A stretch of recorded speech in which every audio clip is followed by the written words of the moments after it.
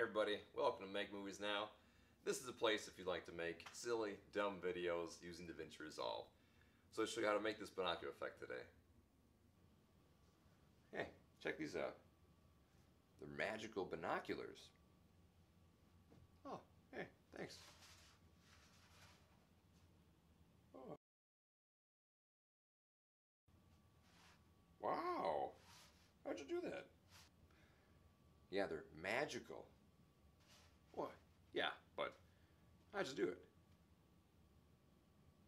They're magical.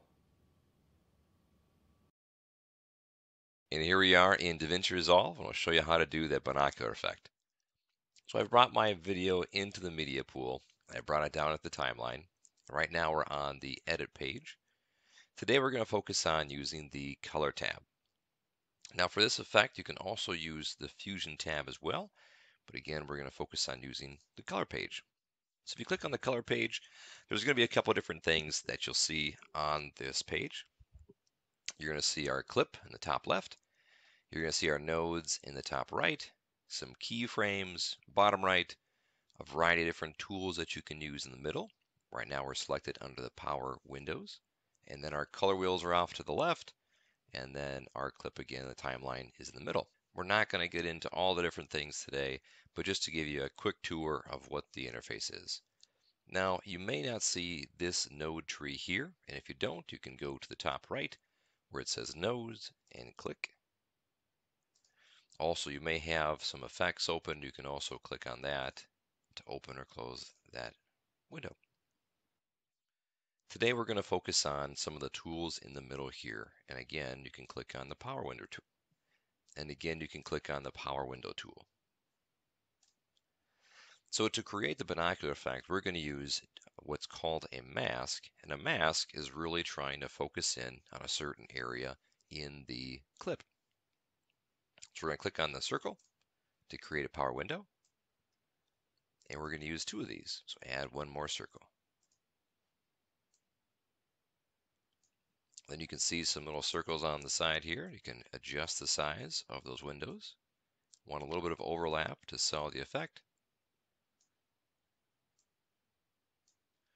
Now when you create the power window, you'll notice that the full frame is showing here. But if you look over to the right, under your node tree, if you focus closely, you'll see some of that area has been grayed out. And the reason it's not showing on our clip is because we haven't created an alpha output channel. On your mouse, you click the right button and click Add Alpha Output. You'll see a blue dot is created on the right. And what we'll do is connect the blue square to the blue dot, which completes the effect. And with this, you can see my boxes and circles aren't quite adding up. So we'll change that here. And there it is. To see the final effect, you can go back into the edit page here. And you'll see the effect take place.